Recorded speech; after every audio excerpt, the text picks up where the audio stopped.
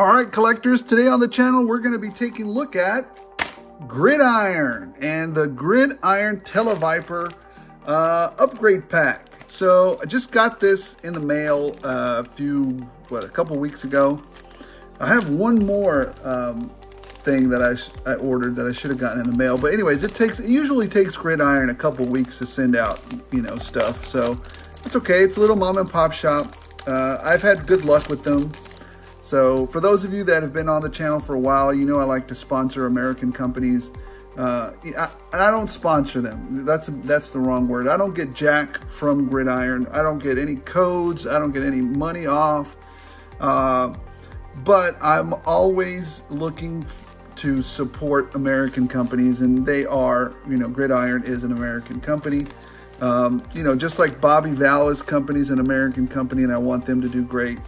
So, uh, especially small business owned companies. So, anyways, um, I bought this just like anybody else does, didn't get any discounts. I saw it was available, and I thought uh, the Hasbro uh, version of the uh, Televiper stuff was uh, less less than great. You know, I, uh, it wasn't bad, but I thought it could have been better.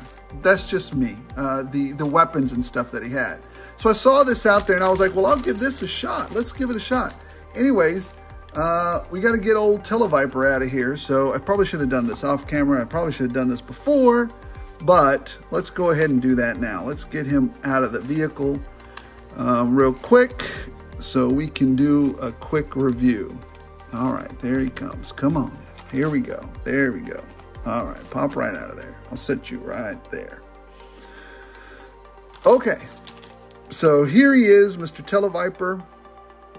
I actually uh, like this version of the Televiper way better because he was the one that I grew up with the instead of the uh, Tiger Force one or the Ronald McDonald Python Patrol looking one. It's okay if you like that one. I don't. Uh, that wasn't the one I came up with. So, uh, but that's okay. That's why we collect these things, right? Because they remind us of our childhood. And that particular one did not remind me of uh, my childhood. So, anyways, uh, let's take a look at what the pack comes with, and then we'll start to equip him, right? So let's put him, let's put him over here, uh, or to the side over here. Let's put him right there.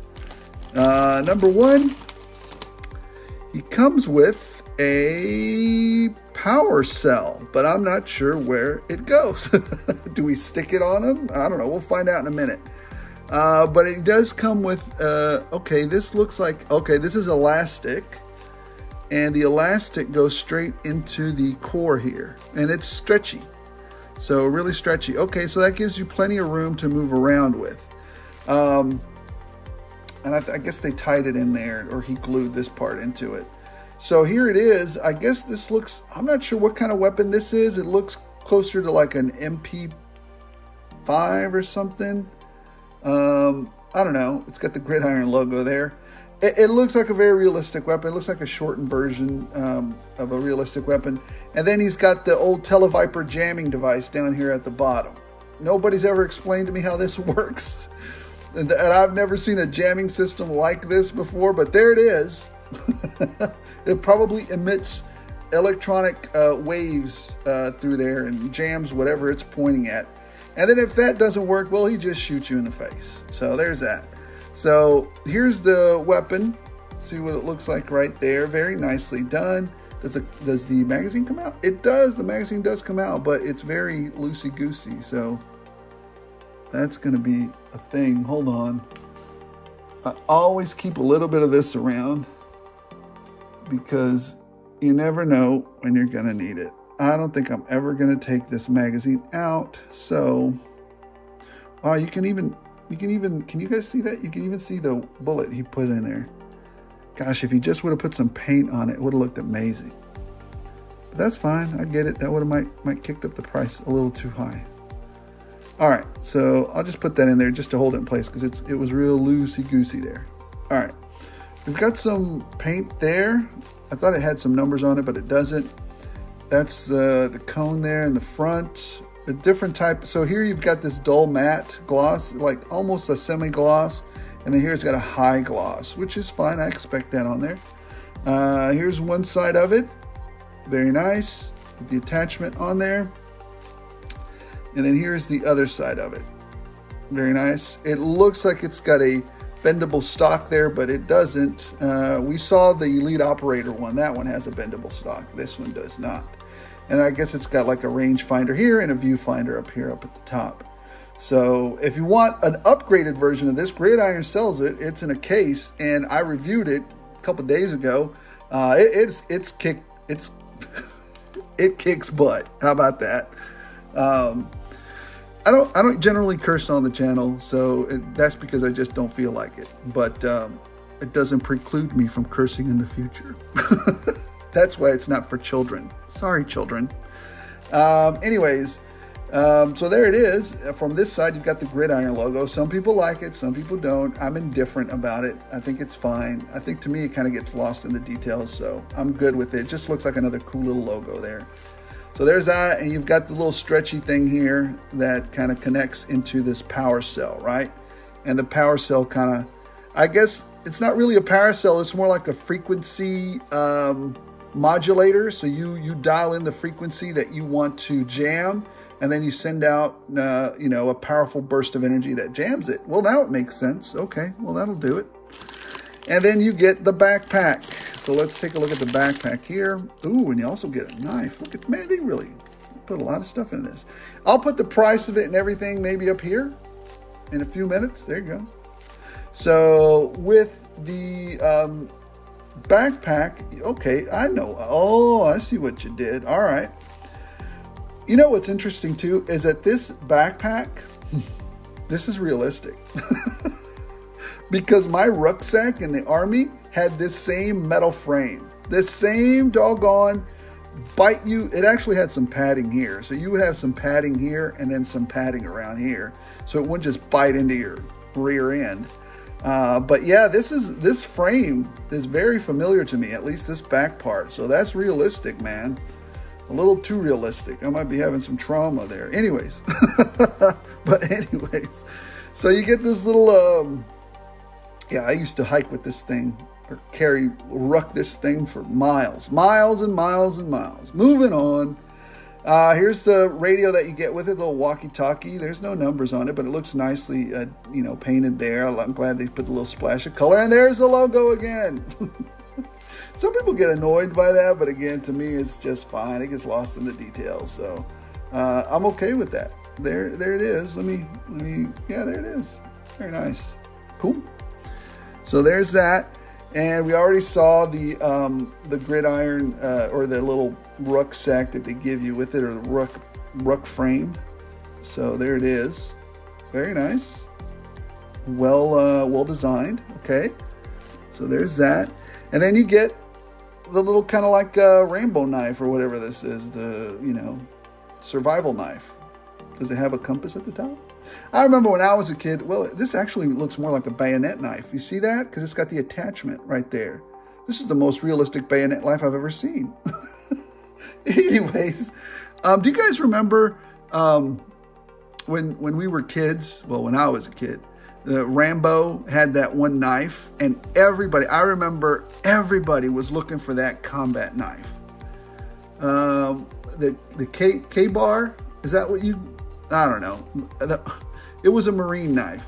You know, everybody was talking about the Marine knife or whatever. I, I don't know why, because the, I, and I don't know if they still issue these in the Army.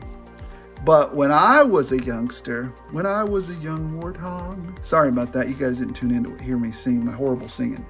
But when I was in the Army, we would get issued a bayonet. Do they still issue bayonets in the Army? I don't know. That's how long I've been out of the Army. For freaking ever, it seems like sometimes. Uh, but we would get a bayonet issued with our M16 and we would attach it. And do you guys even still train? I mean, I'm, I'm asking soldiers here. I don't know about Marines if they still train. I'm sure they did uh, back when I was, you know, back in the day. But uh, this was something that you know you would, uh, you know, you would get the command to fix bayonets, and then you would charge, and you would charge a sack of potatoes or something. I don't know.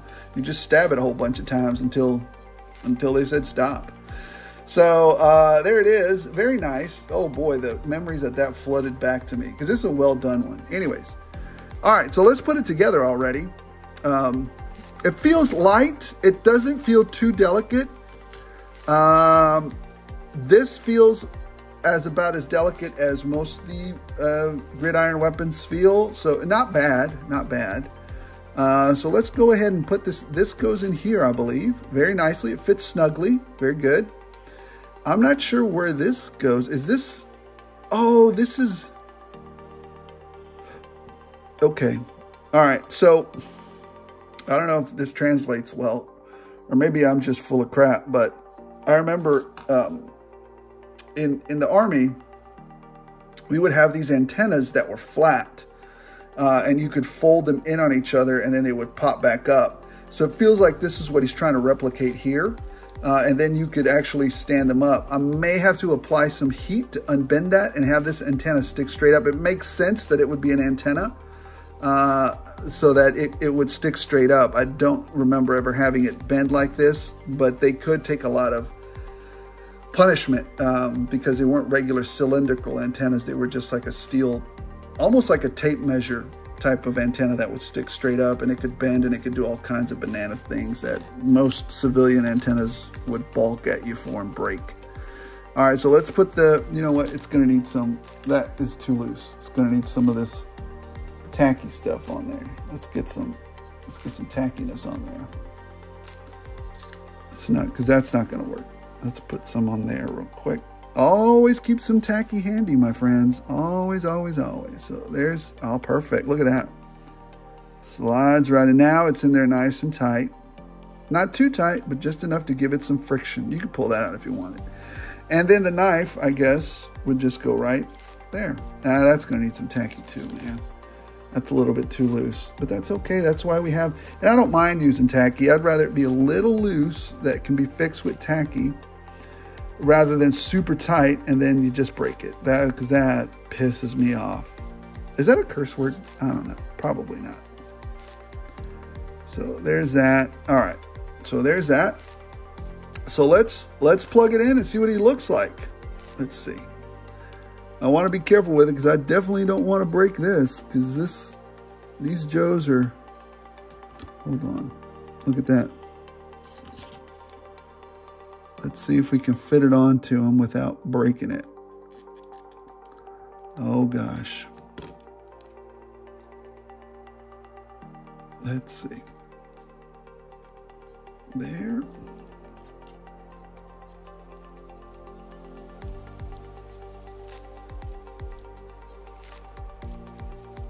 Let's see. Let's push it in without breaking it. Are we going to do it without breaking it? Can I pop this off? Let me take that off real quick because I don't want to. Let's see if we can do it without breaking gridiron stuff. It seems to me a little long. That's how far back it is. But I definitely don't want to clip it because that would that's about as far as it'll go and that's about as far as I want to push it in because uh, I definitely don't want to break it that would upset me greatly so we may need to trim that a little, and that's fine. I don't mind trimming it later. So that's okay. And this might need to be heated up to straighten it out because it's, um, I'm 100% sure that's, that's an antenna that he's got those special weird antennas that we used to have. Not civilian antennas, but those crazy military army ones. Uh, should it go underneath? I'm thinking that this should probably go, let me pop this out. It's easier to go this way. Yeah. All right. Let's have him do kind of like a cool pose real quick.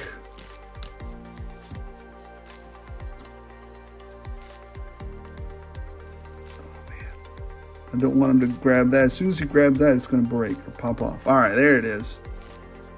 All right, let's see. Let's see if we can have him at least do it cool like I've got the Joes where I want them. Put your hand underneath it there, Televiper. Let's go. All right. Well, there, let me adjust a bit. There you go, guys. What do you think? Look at that. Pointing right at you. How scared are you? So, anyways, there he is. It looks really great to me. Does it? I think it looks better, or at least as good, or to me, it looks more realistic. How about that? It looks way more realistic than what Hasbro gave us. That's just my opinion. Yours may vary, and probably should, because how how boring a place it would be if we all had the same stupid opinion. So, anyways, uh, I love it. Uh, do I recommend it? Yeah, uh, but with the caveat that look, there is some room there. I might have to trim that. I don't know. We'll think about it. But it looks great.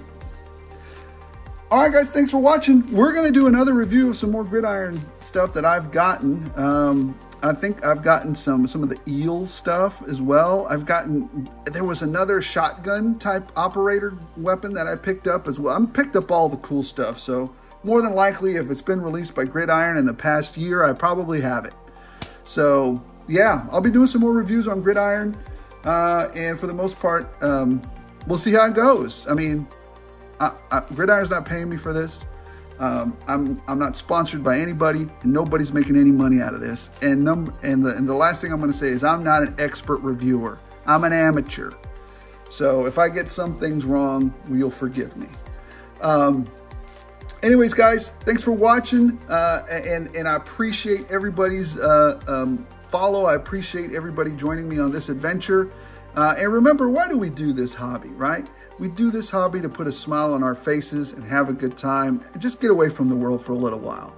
So if, if this hobby puts a frown on your face or gets you a little bit twisted up, then you're probably doing something wrong or you're letting something get under your skin that shouldn't get under your skin. Um, we do this to be happy, we do this to escape, and we do this to put a smile on our faces. So next time you're feeling kind of blue, go ahead and grab a toy, crack it open, escape from the world for a little bit, and put a smile on your face. Um, finally, if I've amused, entertained, or informed you, and you've watched me up to this point, why don't you give me a follow if you like, or subscribe and like the, the, the channel. And um, as always, I appreciate every single one of you, and I'm very thankful and appreciative for, for all the feedback and, and uh, subscriptions. So, as long as you guys keep watching, I'll keep rolling these out.